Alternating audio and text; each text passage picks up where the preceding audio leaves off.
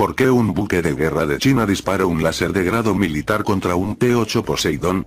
China critica el uso de una sonoboya por parte del avión australiano apuntado con un láser por su armada y expertos sugieren que preocupa a Pekín. El Departamento de Defensa de Australia señaló que un buque chino apuntó un láser contra un P-8 a Poseidón de la Fuerza Aérea Australiana en el mar de Arafura, tras lo cual el avión lanzó una sonoboya.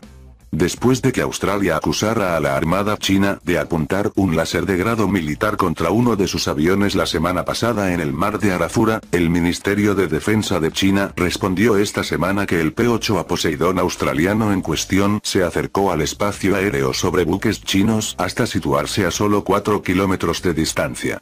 Desde el ministerio señalaron este lunes que el avión australiano estaba muy cerca de un buque e incluso emitió una sonoboya cerca de la embarcación.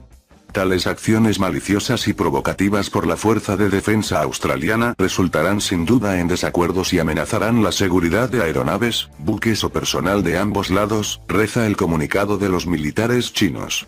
Mientras tanto, el Departamento de Defensa australiano destacó este martes que el uso de sonoboyas es una práctica común, agregando que se utilizan para recopilar datos pasivos acústicos sobre la actividad medioambiental, así como contactos en la superficie y bajo la superficie y no plantean ninguna amenaza para embarcaciones. No se usó ninguna sonoboya antes de que el buque de la Armada del Ejército Popular de Liberación de China dirigiera su láser al avión P-8A el 17 de febrero. Algunas sonoboyas fueron usadas después del incidente, pero se lanzaron al agua a una distancia significativa del buque de la Armada del Ejército Popular de Liberación de China, indicó la defensa australiana, haciendo hincapié en que su avión actuó dentro del derecho internacional.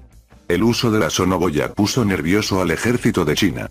En el contexto del incidente, South China Morning Post escribió este miércoles, citando a varios analistas militares, que Pekín está preocupado por el lanzamiento de la sonoboya, teniendo en cuenta la capacidad de este tipo de aparatos de recopilar información sobre submarinos. El analista militar Anthony Wonton afirmó que las sonoboyas no dañan la seguridad de buques de superficie, y que su lanzamiento puso nervioso al ejército chino. Por su parte, Colin Ko, investigador de la Escuela de Estudios Internacionales S. Rajaratnam en la Universidad Tecnológica de Nanyang, Singapur, sostiene que la tripulación del avión australiano probablemente tenía información sobre un contacto submarino sospechoso en el área o ellos mismos detectaron el contacto. Indicó que los pilotos tenían la intención de identificar el objeto y que, en estas condiciones, el lanzamiento del aparato tendría una explicación lógica. El analista naval Li reiteró, a su vez, que el P-8 a Poseidón fue diseñado como un avión antisubmarino, por lo que el lanzamiento de la sonoboya permite sugerir que la aeronave australiana detectó submarinos chinos en la zona. El Ejército Popular de Liberación de China ve a Australia como un socio cercano de Estados Unidos, y el P-8A podría querer recopilar la huella de voz de los submarinos chinos, especialmente información sobre el esquema de operación de los submarinos nucleares lanzamisiles balísticos del país, para proporcionársela a Washington, opinó el experto.